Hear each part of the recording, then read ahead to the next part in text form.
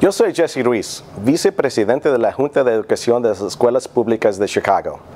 El martes 8 de septiembre es el primer día de clases para todas las escuelas del distrito. Esperamos ver a su niño en la escuela el primer día y todos los días, trabajando con la meta de la universidad y de una gran carrera. Por más información sobre la preparación para el primer día de clases, visite por favor cps.edu forward slash B2S o llame a la línea directa 773-553-3223. Esperamos verlo a usted y a su niño el 8 de septiembre, el primer día de un gran año.